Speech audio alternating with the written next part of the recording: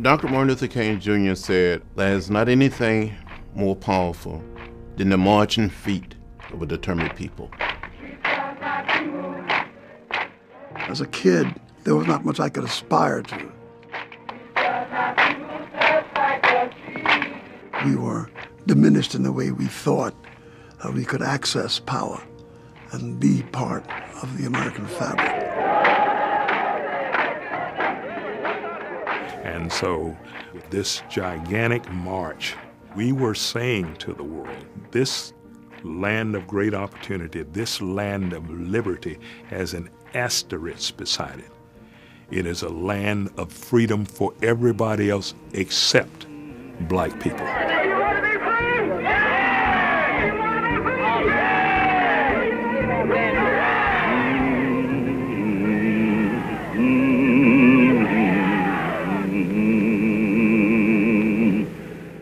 Martin Luther King Jr., the United States was like a dysfunctional drug addict or alcoholic. It become addicted to racial segregation.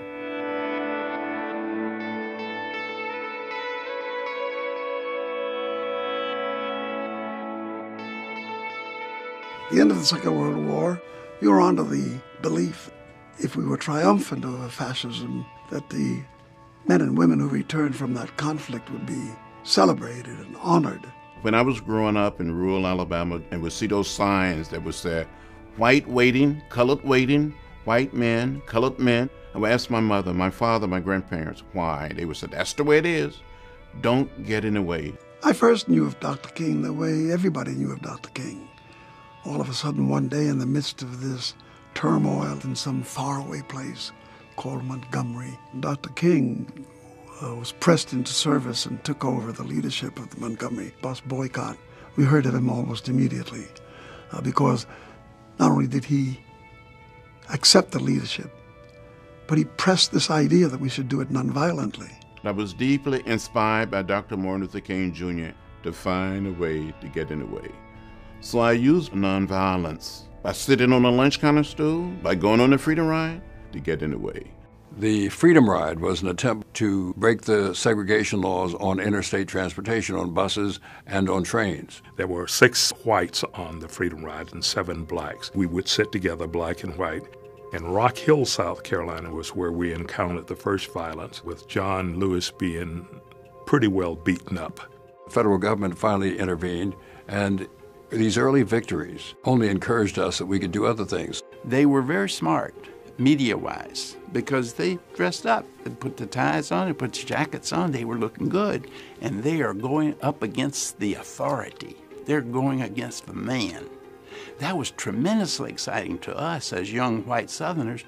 As the nonviolent uh, concept grew, parallel to that was also the growth of an eye for an eye uh, violence. And there were many who were quite bright and quite gifted and honorable men and women who saw violence as an answer that just did not quite sit comfortably with the code that others of us had, saying that although racism was a cruel experience, we could not fight it by becoming racists.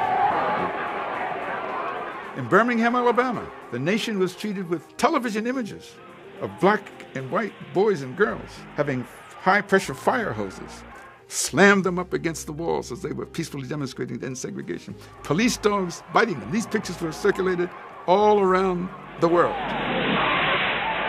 But those demonstrations were like a spark that ignited a prairie fire of black protests across the country. And Kennedy, uh, on the one hand, he's trying to win Africans and people and say, we are a better system than communism. And at the same time, there was this harsh treatment of black people that just didn't square in the final equation. And the more we were feisty in our demands of government, the more it revealed the weaknesses in our own construct. What started out as black Negro protests had developed into a Negro revolution. There was a feeling that we would not be able to break the Deep South. So that march on Washington was uh, to be the culmination of all of this intense organizing. It really has to be a moral crusade for the country. The struggle for freedom in the United States had to move to the center of power, to where the president and the Congress were. That no matter how many demonstrations took place in Montgomery and in Birmingham and in places all around the South, that until you could change the central government, significant things wouldn't happen. The March on Washington was an accumulation of all this, because here would have been the biggest display of America in its most democratic uh, moment, making a choice, and it was something that was emerging as a great demonstration as to the will of the people. Well, it may be the last time you march on the Capitol. That uh, if that day erupted into violence, then uh, our cause would be seriously uh, reversed and uh, hard to come by again. The last time you march for your freedom. The last time, I don't know. Singing this.